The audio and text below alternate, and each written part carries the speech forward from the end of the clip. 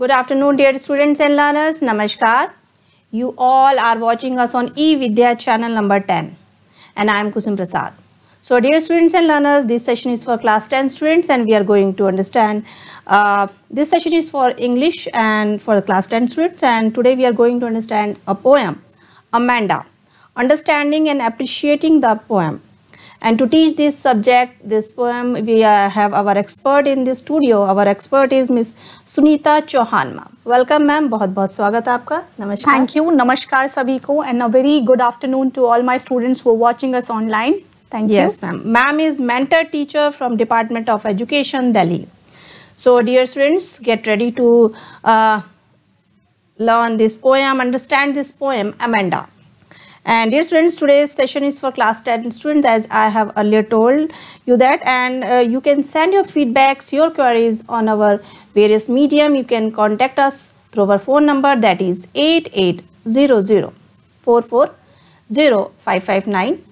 and you can also email us on our email id our id is dth.class10 at the rate ciet.nic.in and dear students before we start this uh, session we want to share a very important message regarding g20 we are proud that India assumed the G20 presidency and will convene the G20 Leaders Summit for the first time in the country in 2023.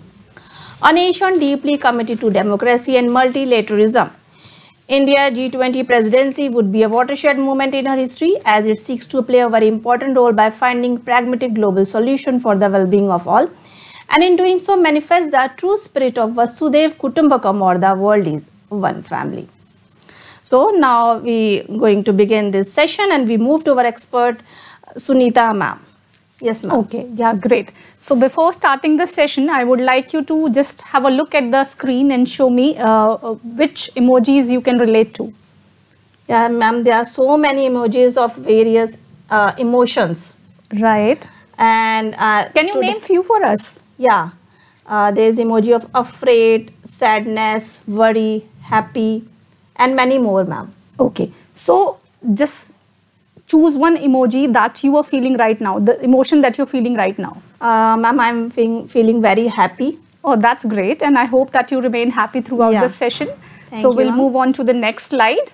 So uh, this picture has different different images and you have to tell me while watching a certain image what kind of emotion comes to you like Hmm. when you you know just see the shopping bags and you have to go to shopping so how do you feel Uh, we all feel, ma'am, very happy. of course you feel happy excited right Yeah. and when you get to eat your favorite ice cream or chocolate what's your reaction at that point of time That time also we are very uh, happy.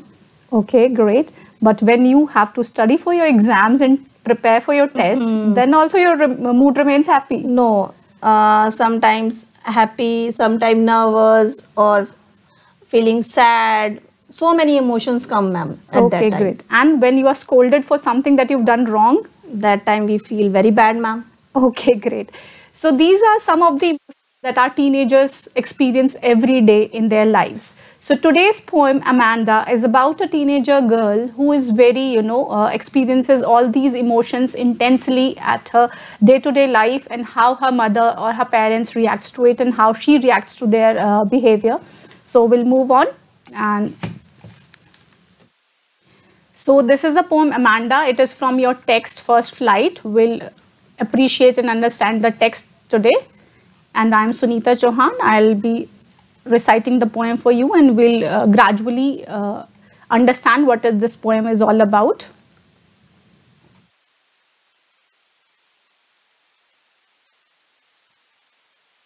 Okay, so uh, the objective of this poem is that we, uh, at the end of the uh, session, the students will be able to recite the poem with proper intonation independently. They will be able to comprehend the main idea of the poem and answer the questions in their own language, develop an understanding for the various poetic devices that are being used in this poem. So before we start the poem, let's talk about the uh, poet. The poet of this poem is Robin Klein. She is an Australian writer. She has penned down many different different stories for the children, and some of her famous work includes Giraffe and uh, some of her uh, books are listed for the Children's Award. She's a famous writer, and we'll get to see one of her writing in this poem. This is this poem is about a teenager girl, Amanda. So let's see what Amanda has to say, what she has to experience. Yes, ma'am. So I quickly read out this summary of the poem for you. This poem is about a young girl who is continuously reprimanded by her mother about certain do's and don'ts. As we all see that the teenagers that uh, uh, they are frequently, you know, told to do or behave in a certain manner. This frequent inference, interference makes her unhappy. She is told to pay attention to her posture. She is reprimanded. She is reminded every time to tidy her room, to clean her shoes, she is forbidden from eating chocolates that she likes. But all this while, the girl is so uh, irritated that she transforms herself into her own imaginary world. She keeps dreaming of a life of freedom where no one nags at her. She dreams of drifting peacefully in a sea. She imagines herself as a Rapunzel who lives in a tower. And she promises that she would not let her hair down and will never allow anyone to come to her tower to disturb her. Throughout the poem, her mother wants her to stop behaving in an odd manner. She rebukes her for not paying attention to her while she is talking to her. Her mother is anxious about how others would judge if she remains so grumpy. So we'll go to the poem and we'll see. Okay, so I'll recite the poem for you. Yes, ma'am. Don't bite your nails, Amanda. Don't hunch your shoulders, Amanda. Stop that slouching and sit up straight, Amanda. There is languid emerald sea, where the sole inhabitant is me, a mermaid drifting blissfully.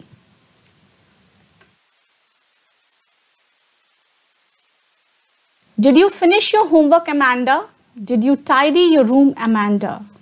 I thought I told you to clean your shoes, Amanda. I am an orphan roaming the street.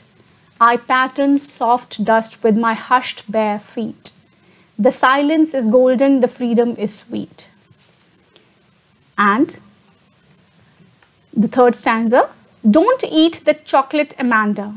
Remember your acne, Amanda. Will you please look at me when I'm speaking to you, Amanda? I am Rapunzel, I have not care. Life in a tower is tranquil and rare. I will certainly never let down my bright hair. Stop that sulking at once, Amanda. You always so moody, Amanda. Anyone would think that I nagged at you, Amanda. So, this is the poem. I hope you enjoyed the poem and these are the some of the words that you must have come across the poem when I was reciting it. So I'll hmm. quickly just go through the meaning and then we'll go again and revisit the poem so that we can, you know, uh, understand in detail how each stanza, what does it mean and what poetic devices are being used there. So some of the new words that has come across in the poem are hunch. Hunch means to bend, when you bend your shoulders like this. Slouching, sitting in a very lazy manner, you know, when you're just drooping like this and you're not hmm. sitting straight languid, relaxed, drifting to move slowly, inhabitant, resident, blissfully, happily, hushed, quiet, tranquil, calm, sulking, be in a bad mood, and nagged is to harass. So we'll once again revisit the poem together and we will independently discuss each stanza and understand more about it. Okay. So as you clearly see, don't bite your nails, Amanda. Don't hunch your shoulders, Amanda. Stop that slouching and sit up straight, Amanda. The tone here is of authority, of, mm. you know, correcting the behavior of someone. So here we assume that the mother is, you know, shouting at her uh, teenager girl and she's reprimanding her for, you know, not biting the nails because some of the, you know, uh, kids they have this bad habit of just biting their nails whenever they are anxious whenever they are stressed out so the mother wants her to stop that bad habit and she asks her to sit straight because amanda has this bad habit of you know just slouching and you know hunching her mm. shoulders and not sitting up straight so the, uh, this is what her mother wants her to behave in a particular manner because as a mother she is concerned about the upbringing of her child and she wants to do the best of her. So you can see there's a difference. The first four lines are written in a stanza wise form and the last three lines are written in parentheses. When something is written in parentheses that are to give extra information to you know emphasis on a particular point. So uh, this poem has a very interesting setting. It is set in two different uh, times. The first four lines are set in a real world where you see a mother, you know, reprimanding her uh, teenager girl to behave in a certain manner. Whereas the sentences in the parentheses are imaginary world. Hmm. This imaginary, this fanciful world is being created by Amanda herself. So whenever she gets hmm. scolding from other, she she you know just dreams of a beautiful fanciful world hmm. where she's all alone. So she says there is a languid. Languid means relaxed Hmm. Emerald sea. The sea is so clear, beautiful that the color resembles the color green. Emerald hmm. is a green color. So where the sole inhabitant is me and she says there I just want to be all alone. I don't want anyone around me. I want to be the only inhabitant of that sea and I want to feel like a mermaid that is drifting blissfully. Hmm. A mermaid is a mythical figure. So uh, she wants to just you know go away from the world of real life where she is being told to behave like that don't do that so she wants a world of herself where she can enjoy her life in stanza 2 again we see that the tone of the uh, narrator is strict did you finish your homework amanda did you tidy your room? I told you to clean your shoes, Amanda. Again, so many instructions are given to her that she has finished her homework on time, did she tidy her room, did she clean her shoes.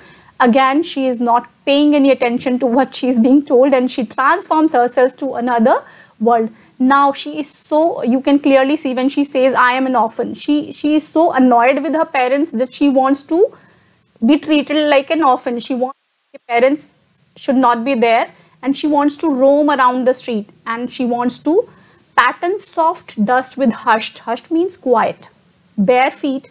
The silence is golden, the freedom is sweet. She wants to, she always longs for that freedom, that silence, because in the real world, she's been constantly asked to do something and not to do something. So she's like, she wants some silence and peace in her life. Stanza 3. Again, the mother is worried about the teenager girl, uh, the way she looks, you know, her health and her well-being. And she again says, don't eat that chocolate, Amanda. Remember your acne, Amanda? As teenagers, kids, if they have more chocolates and sweets, mm. they hmm. get those pimples and acne on their face. So acne is basically a pimple. So will you please look at me when I'm speaking to you, Amanda? And the child is so frustrated that she's not even making an eye contact with the mother when she's talking to her. She just goes back to her own world. And now she thinks herself as a Rapunzel.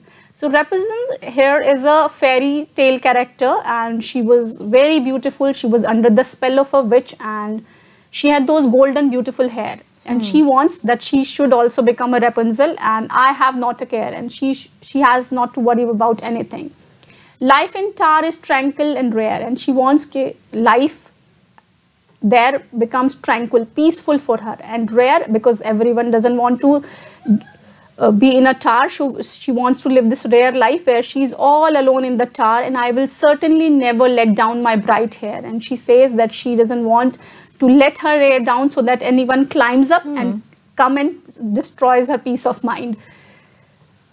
In stanza 4, stop that sulking at once, Amanda. Sulking is when you are in a very bad mood and you know, just you just that shows in your face. You're always so moody, Amanda. The mother is concerned that the child is not happy. She's always moody. She's always sulking. She's always making faces. Anyone would that I nagged at you, Amanda. Now the mother is concerned about her image in the society. Not the child, even the adults get this pressure of the society. She also thinks that if someone comes and hear that I'm nagging at my daughter, what they would think of me because in society we are perceived by the way we behave, the way we talk. So she is also concerned.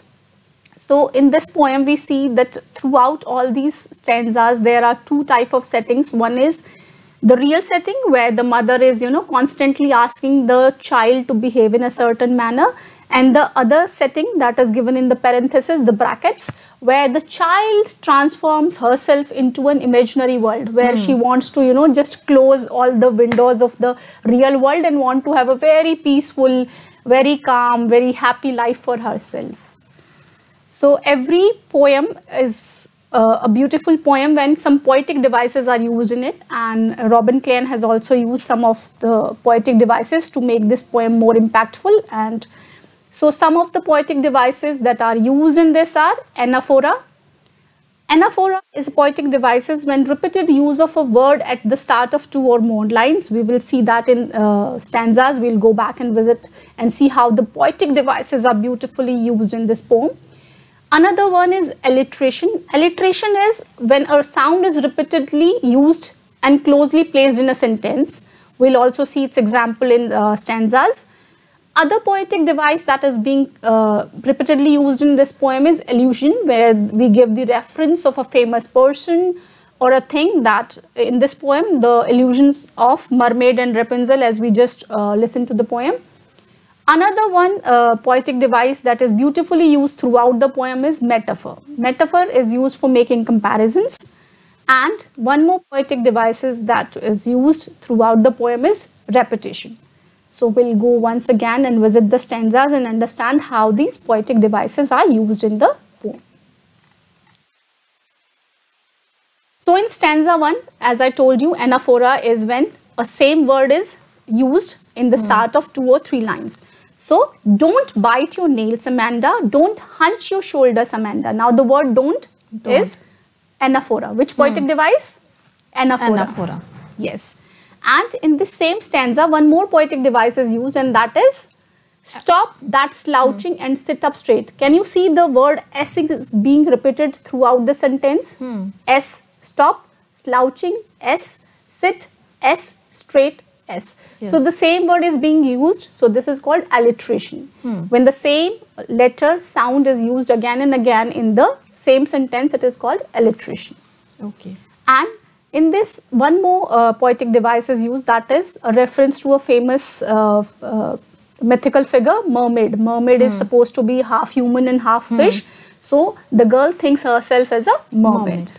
And as we see, Amanda, Amanda word is repeated, again and Repeated. again. So all uh, those four, five poetic devices that we learned are being beautifully used in this stanza.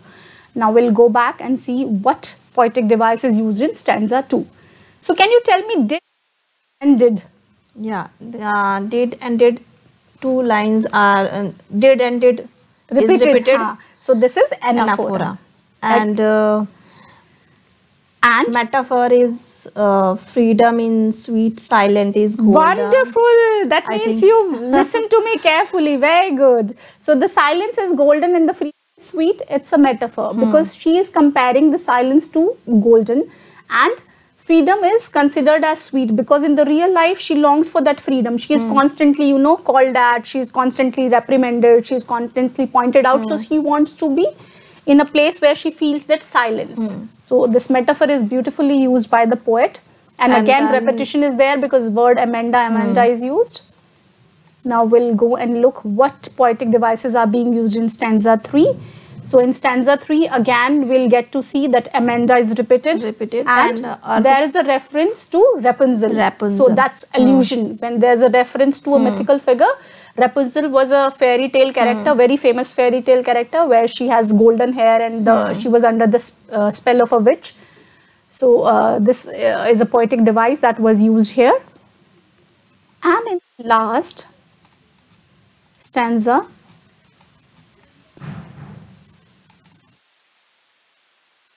we have alliteration. Hmm. Stop that sulking. So S sound is hmm, being repeated sound. here. And So again, Amanda is also repeating. yeah, so that is called repetition. Hmm, Which poetic device is that? Repetition. Repetition. So I hope you've understood the poem well. So we'll go and quickly do some comprehension questions to check whether you've understood the poem or not. So the first question for you is in the poem, her parents are continuously dash Amanda. What are they doing? The options are motivating, encouraging, disappointing, reprimanding.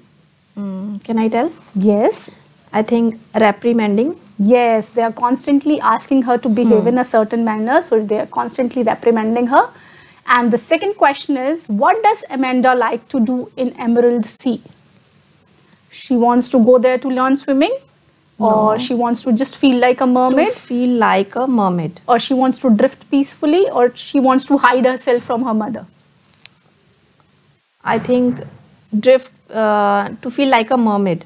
Yeah, so Sea. Hmm. yeah, she wanted to be a mermaid, but she just wanted to drift peacefully, Peacefully because she was huh. Hmm. annoyed with the sound, you know, the constant voice of her mother, you know, asking her to behave in a certain manner. So she just wanted to drift, Drift peacefully, in the sea. The third question is. Lay, uh, name the poetic device used in the line silence is golden so Hmm. is it smiley uh, sorry simile alliteration metaphor or personification is metaphor. Okay, it's metaphor. You're right. So metaphor is used when we compare two Hmm. things. So silence here is compared to being golden. Hmm. The fourth question is pick out the word from the poem which means same as wandering. It is, I think, roaming. You are absolutely right. It's roaming because she wants to roam Hmm. like an orphan where nobody is going to you know ask her to sit down to study to behave in a certain manner so she just wants to be an orphan who roams around without any purpose so wonderful it means that you were very attentive throughout the class thank you so much Thank you, ma'am. And uh, So our students are also attentive. And Yeah, We exactly. hope that uh, they are also Right, uh, right. sending some feedback. Yeah, sure, sure. And we look forward to see your feedback. And this is a small homework for you. I hope you understood the poem well. And this is a short homework for you. You, as we've just discussed the word meaning and the poetic devices used, and we've seen the rhyming scheme also. So you need to write a short poem to describe your feeling using the rhyming words and the poetic devices. You may also use uh, the certain words that we've been given to you: dream, scream, aspire, desire, whatever, whatever words that suits your mood and that describes your feeling. You can use them. So this is a small homework for you. So we'll just go back and quickly see the poetic devi- uh, devices we've already done. Rhyming scheme is the Yes, ma'am. So, ma'am, uh. It's time to wind up this session. It was very beautiful poem, and you explained so beautifully to our students and learners, ma'am. Thank you so Thank much. you, thank you. I hope everyone understood Yes, the poem well. Thank you, thank, you, so much. And dear students and learners, uh, before we wind up this session, we want to share a very important message regarding NCERT books. It's very important for you, all children and dear parents. NCERT books for 2023-24 are available throughout the country. These textbooks may be purchased directly from NCERT sale counters located at New Delhi, Ahmedabad, Bengaluru, Kolkata and Guwahati. These sale counters will be functional on all the weekdays including gazetted holidays, Saturdays and Sundays from 9:30 a.m. to 6 p.m. You may also place order for the books online from our website ncertbooks.ncert.gov.in and these books will be delivered at your doorsteps with no delivery fee. And if you want the soft copy of all the books in PDF version, can also be downloaded for free from NCERT, Diksha and ePathshala website and mobile app. Please visit the website ncert.nic.in to know more about the authorized vendors. So dear students and learners, it's time to uh, wind up this session and uh, we want to say that uh, after this session, there is a session for class 9 students, mathematics and the chapter is number system part 1. So stay connected to eVidya channels. Namaskar.